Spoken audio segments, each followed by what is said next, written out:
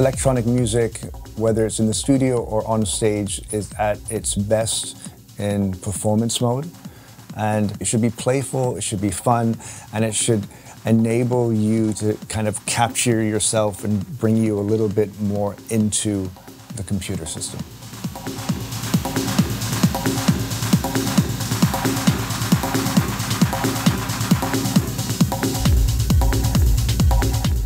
Hi, I'm Richie Hawtin, and today we're going to cover a new script I've developed for the Launchpad Pro and Bitwig. This script gives me new possibilities that weren't available on some other devices. As you know, my style of DJing is quite spontaneous and a little bit in between DJing and production. I would also say that in the past, the studio and the performance and stage sometimes needed different software. But one of the things that drew me to Bitwig was that I really wanted to unite stage and studio. When I'm playing, I really like to play with loop length so that I can give some kind of counter rhythms to the records I'm playing. And I like to have direct access in the creative moment to come up with new and fresh ideas and to be able to play with rhythms in a unique and interesting way. What I knew I needed to interface with Bitwig better in the studio and on stage was some scripts that were really specifically made for me. I have a very specific setup up here for my DJ shows, allowing me to combine pre-recorded tracks in Native Instruments Traktor and having effects and drums in Bitwig. So on the first four channels of the Model 1 mixer, I have my tracks,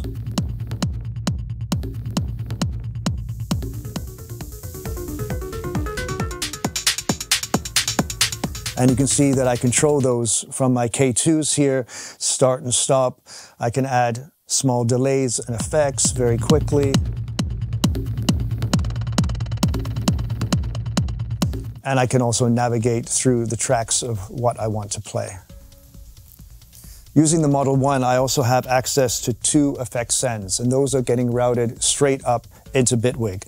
So I have a reverb and a delay, all being controlled from the K2s. As a third effect send, we use QB headphones to be able to send back up to Bitwig for a flange-like effect. All the effects in Bitwig get routed back to the Model 1. Reverb on return 1, flange on return 2, and on the first channel, we have the delay. The delay is on the first channel because then we can actually have sends again so that we can do small feedback loops. The second channel on the Model 1 is the important drum channel. And here we have the down mix of all the drums that I'm programming on the Launchpad Pro with this new script. Although all the drums are down mixed onto channel 2, I use the K2 for specific volumes for each of those sounds. So here I can also control pitch and add some other simple delays and reverbs. Of course, all performances need some preparation, but I try to leave it as little as possible so that I can really live in the moment. But what I have set up in Bitwig at the beginning of each show are the samples that I'm going to use, the drum sounds, and which parameters I can control from all these devices. Because it's very important for me to have a muscle memory so that I know when I want to change a tuning or add an effect or do a drum fill, it's going to do the same thing every time. Let's dive in and see what makes this script really special and exactly how I use it. One of the things I love to do when playing is to change the loop length. This is really the heart of this script because it allows me to do strange rhythms, polyrhythms, and keep things rotating over the records I'm playing to bring that kind of hypnotic state. So quickly with one touch, we can go and start changing the loop length.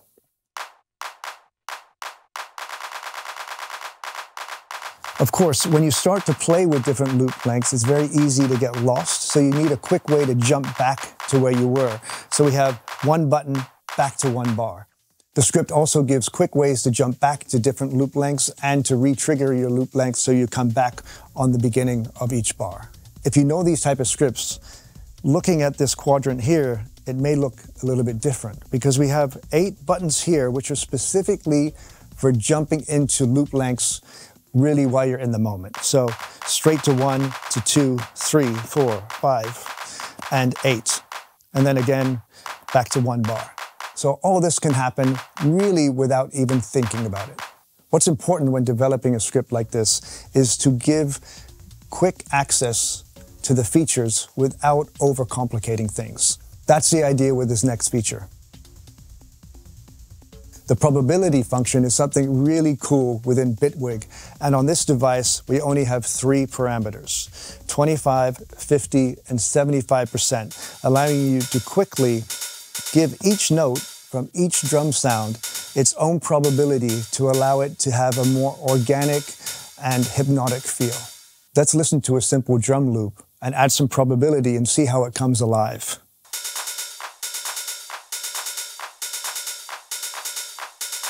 What's happening here is our script has direct access to the Bitwig operators.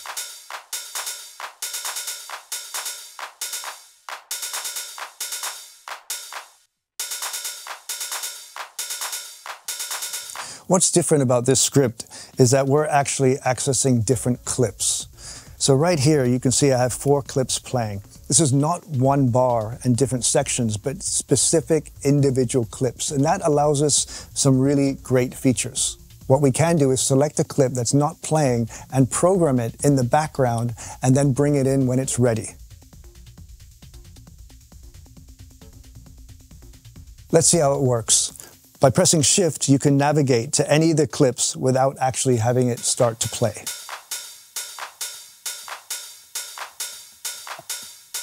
And then once you're done, then actually fire it and move over to that pattern.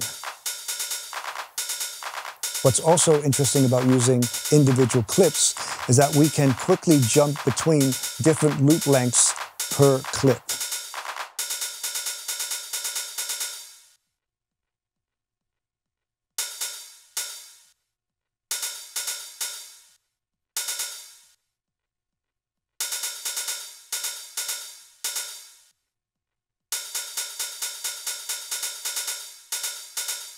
Remembering that you always have one button to bring you back to a normal size loop.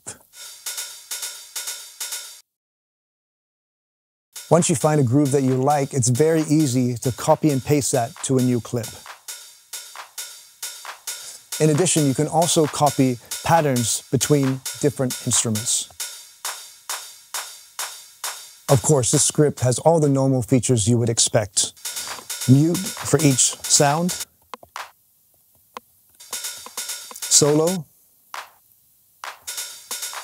velocity, which you can use for each step for each instrument, and note repeat.